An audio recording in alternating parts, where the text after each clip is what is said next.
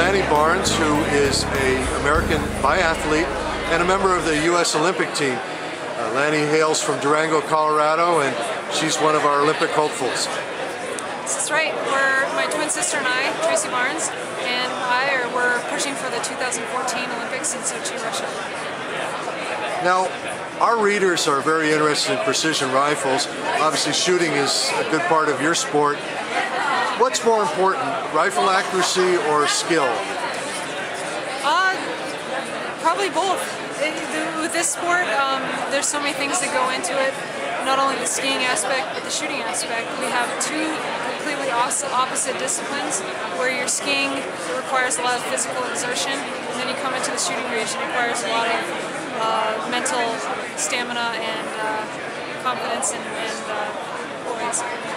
Now in Europe, biathlon is very, very popular in Germany and the Scandinavian countries. There's a lot of women that do it, but it's a little unusual for an American gal to be involved. It is, yes. Uh, biathlon is growing in popularity here in the U.S., but biathlon is the number one most popular winter sport in Europe, and uh, we actually, it's awesome competing in Europe, and we're getting a lot more uh, fans and, and things like that here in the U.S. It's pretty great. How long have you been shooting, or is this something you added recently to your skill set?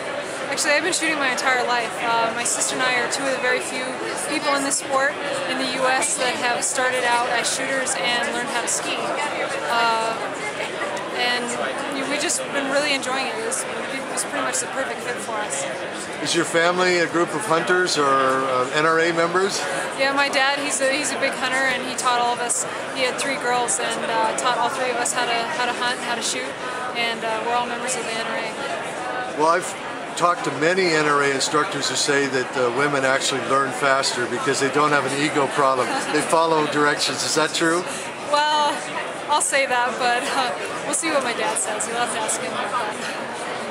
Some of our readers are interested in the type of rifle you use. It uses a fairly modern, up-to-date uh, straight pull action, a Fortner action. Tell us about that. Well, it's a Biathlon rifle out of uh, Germany that Anschutz, and the special thing about it is it goes straight forward and straight back.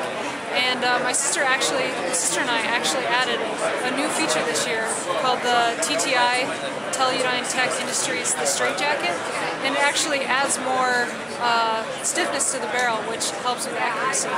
And uh, it's it's a great rifle. It it uh, has a lot of features specifically just for biathlon, not only to incorporate speed, but also to incorporate the aspects such as as uh, the snow shields over the sights to prevent snow from getting in there while we're skiing or the chance that you actually happen to fall or something during the race. That's a very unforgiving sport. You can't afford to miss many shots, can you? You can't. And, and the thing about our sport is if you miss, you're going to pay for it because we have uh, we have penalty loops or at actually we have penalty loops which is more skiing or we have added time which uh, you can't make up in the skiing. So it, it definitely puts a lot of pressure and a lot of emphasis on the shooting in our sport. Now Lanny, a lot of us have this idea that biathletes somehow are able to reduce their heart rate and, and calm themselves down before they start shooting. That's a bit of a that's that's that's not quite true, is it? No, it's not actually. In biathlon back in the day, a lot of people try to calm their heart rate down so that you know they they uh, had more composure while they shot. But with the athletes and the way the sport has evolved, uh, we're shooting in under 25 seconds for both prone and standing. So you don't have time for your heart rate to drop from 180 beats per minute to a normal, you know, resting heart rate. So we try to shoot at uh, around 180 beats per minute. And so it's almost like a flutter then, and if you're able to steady the barrel even with that high uh, beat rate? You know, it, it, takes a lot of practice, but yeah, you uh, you work on your hold and, and your trigger squeeze, and with that, uh, you're able to shoot with a really high heart rate because it, like you said, it adds more of a flutter instead of, uh, you know, a really strong up and down barrel movement that you normally see with a lower heart rate. Now, while biathlon, in terms of the competitions, is a winter sport, you train year-round, don't you? We do, yeah. We usually get a couple weeks off in the spring, and we train from April until November, and then November through end of March is our uh, competition season as an American Olympian and a young woman, you're a bit of an inspiration to a lot of young ladies out there, what would you have to, what would you say to them if they're contemplating getting involved in your sport?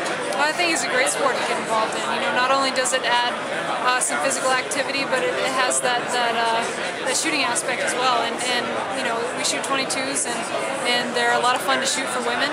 And it's just a great, not only activity, but it's been a great experience for me, and I'd recommend it for anybody.